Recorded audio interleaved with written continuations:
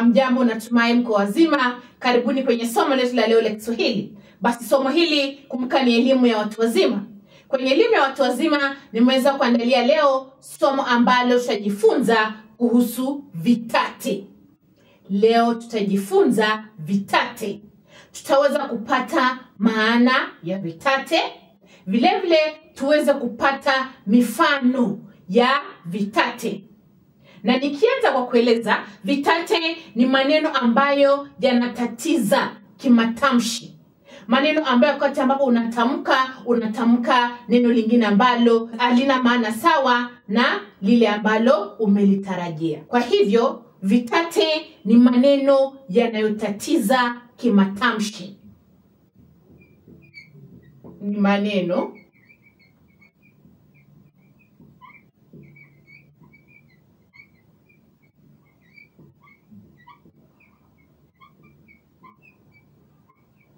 yanayotatiza kimatamshi. Kwa hivyo maneno ambayo unatamka na yakutatize, utakuwa umepata kwamba yale maneno yanaitwa vitate. Basi tutaanza kupata mifano ya maneno haya. Neno la kwanza ama maneno ambayo yanatatiza pale, tuna neno ndoa na doa. Ndoa na doa. Ndoa, doa. Ndoa, doa.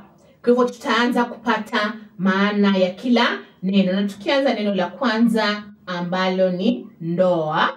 Nini maana ya ndoa? Ndoa ni kuungana kwa watu wawili na kuishi pamoja kama mme na mke. Hiyo ndio maana ya neno ndoa, kuungana na kuishi pamoja kama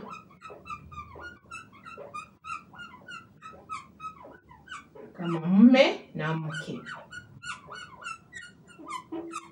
Hiyo ndio maana ya neno ndoa. Kisha tuna doa. Doa, doa, kumbuka, ni alama ya uchafu, kasoro au dosari. Alama ya uchafu, alama ya uchafu, kasoro au dosari. Basi pale utapata ya kwamba kuna mtu ambaye angependa kusema neno ndoa, kwani anatamka pasivyo. Kwa mfano, angependa kusema ndoa yao imedumu, basi badala yake atasema ndoa yao imedumu. Basi kuna jamii fulani ambao wana shida ya matamshi haya baina ya ndoa na doa, maanake atasema ndoa yao badala ya kusema ndoa yao. Mfano mwingine wa vitate tuna baba na papa. Tuna baba na papa. Utagundua kwamba kuna watu ambao huenda kawa amemaanisha baba, yani mzazi wa kiume. Kwa hivyo badala yake atasema papa ama kunaye ambaye atakuwa anamaanisha papa ambaye kwamba ni msamaki ambaye anapatikana pale baharini. Badala ya kusema papa atasema baba. Basi maneno haya mawili baba na papa ni maneno ambayo yanatatiza kimatamshi. Kwa hivyo tukianza na neno baba, baba, kumbuka nimeeleza ya kwamba ni mzazi wa kiume, mzazi wa kiume nayo papa papa. Papa ni mnyama wa baharini ambaye kwamba ni samaki. Mnyama mnyama wa baharini ambaye kwamba ni samaki. Kwa hivyo ni vyema tuweze kutofautisha maneno haya wakati ambapo tunayatamka. Huenda ikawa kuna jamii ambao ni vigumu kwao kuweza kuyatamka maneno haya namna wanavyomaanisha, ila baba ni mzazi wa kiume, naye papa ni mnyama wa baharini. Kisha tutapata mfano wetu wa tatu. Mfano wa tatu tuna fua na vua. Fua na vua. Je, nini maana ya fua?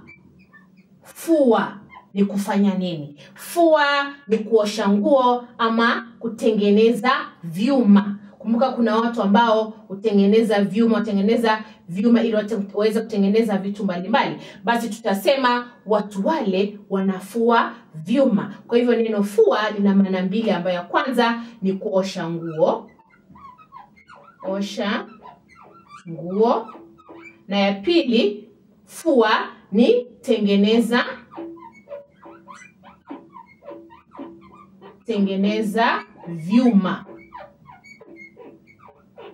nayo maana ya vua. Vua. Je nini maana ya vua? Vua vilevile ina maana mbili. Ya kwanza ni kutoa nguo mwilini na maana ya pili ni kwamba shika samaki toka kwenye maji. Kwa hivyo tutasema toa nguo mwilini kutoa nguo mwilini na ya pili maana ya vua ni toa samaki. Toa samaki majini kwenye maji. Kwa hivyo fua ama vua. Kwa hivyo itategemea unamaanisha nini. Wakati ambapo unazungumzia kutoa nguo kwenye mwili basi ni vyema uweze kusema vua ama vilevile kutoa samaki kwenye maji ni vyema uweze kusema vua. Ila unapozungumzia kuosha nguo utasema fua. Maneno haya vilevile huwa yanatatiza wakati wa kutamka. Kisha tupate maneno ambayo vilevile yanatatiza tunafaa na vaa. Faa na vaa tutaanza kwa neno faa je nini maana ya neno faa faa maanake ni kwamba inavyostahili ama inavyopaswa. Inavyostahili.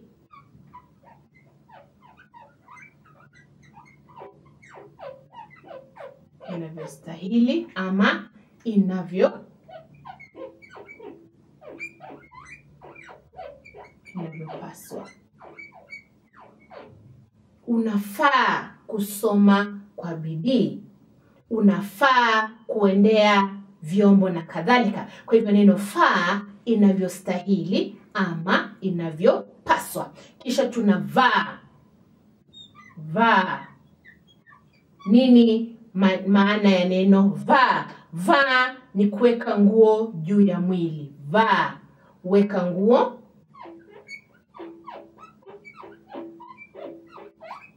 weka nguo juu ya mwili. Wakati ambapo unaweka nguo juu ya mwili wako tutasema unavaa. Na tume tumeweza kutofautisha kati ya faa na vaa. But utakumbuka kwamba maneno haya vile vile huwa yanatatiza. Kuna jamii fulani ambao ama kuna watu ambao badala aseme vaa atasema faa kwa hivyo ni vyema uweze kutambua ni nini ambacho unamaanisha ndiposa uweze kutamka maneno haya inavyofaa. Kwenye mfano wa tano tuna ngoma. Ngoma na goma. Tuna neno ngoma na goma. Kwa hivyo tutaanza kupata maana ya ngoma. Je nini maana ya neno ngoma ngoma ni ala ya mziki ala ya mziki inayotoa sauti kwa kupigwa. Ala ya mziki ambayo hutoa sauti kwa kupigwa. Kisha tuna neno goma. Goma, goma maana yake ni kwamba acha kufanya kazi, acha kufanya acha kufanya kazi. Kwa hivyo tuna ngoma, ala ya mziki, na goma, acha kufanya kazi. Kwa hivyo itategemea wewe unazungumzia nini ili uweze kuyatamka maneno haya inavyofaa. Kwa hivyo mfano wa sita tuna neno shinda. Shinda na neno shida. Shinda na shida. Kwa hivyo tutaanza na neno shinda. Je, nini maana ya shinda? Shinda ni hali ambayo unaongoza katika mashindano. Ongoza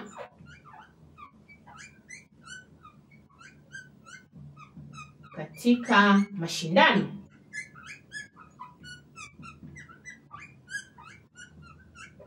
Kisha tuna shida.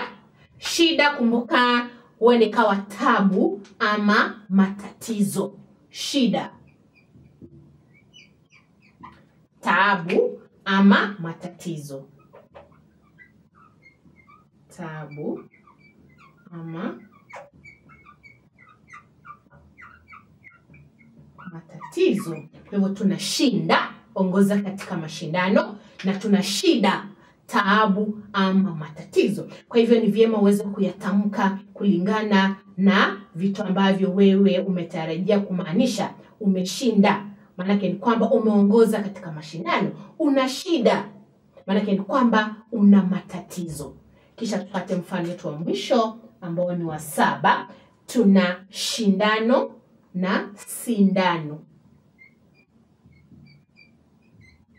Shindano na sindano. Tukianza na la kwanza ambalo ni shindano.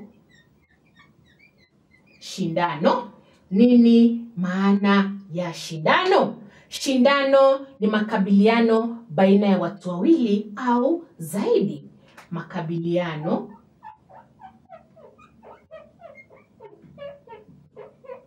makabiliano baina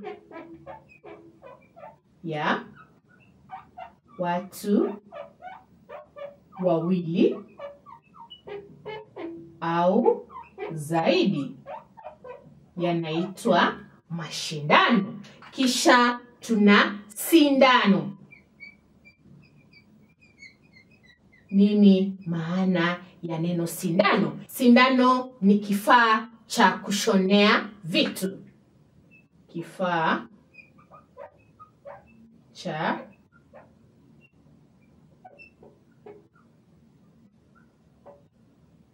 kushonea vitu. Kwa hivyo tuna shindano ambayo ni makabiliano baina ya watu wawili au zaidi, na tuna sindano, kifaa cha kushonea vitu. Natumai tutaweza kuyatamka maneno haya namna inavyofaa. Kwa hivyo baada ya hapa, ningependa tuweze kulifanya zoezi letu la leo. Vilevile zoezi hili litakuwa uh, sawa na somo ambalo tumelisoma ambalo tutaweza kutambua maana ya vitate ambavyo hatujaweza kuvitaja pale.